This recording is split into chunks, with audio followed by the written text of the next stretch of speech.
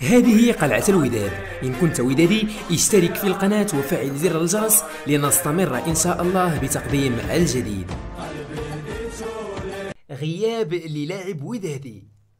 وضع متوسط ميدان نادي الوداد الرياضي أيوب سكوما المدرب الودادي في حيرة من أمره وذلك بعد غيابه يوم أول أمس الخميس عن التدريب. وحسب مصادر متطابقة فإن الركراكي عبر عن قلقه من غياب غير مبرر لسكوما رغم أنه لا يعاني من أي إصابة مؤخرا. وخصص وليد الركراكي برنامج تدريبي خاص لسكوما حتى يتمكن من استرجاع جاهزيته البدنية تحسبا للاستحقاقات القادمة. القادمة. واحتفظ الركراكي بأيوب سكوما بالنسبة للموسم الرياضي الحالي حيث كان اللاعب خارج مخططات المدرب الأسبق لفريق الوداد الرياضي فوزي البنزرتي. وخاض سكوما مباراة واحدة خلال السنة الرياضية الحالية أمام نادي اتحاد طنجة في إطار الجولة الأولى من البطولة الاحترافية.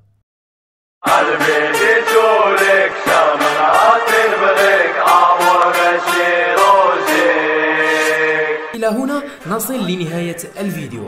دمتم في أمان الله وحفظه. إلى اللقاء.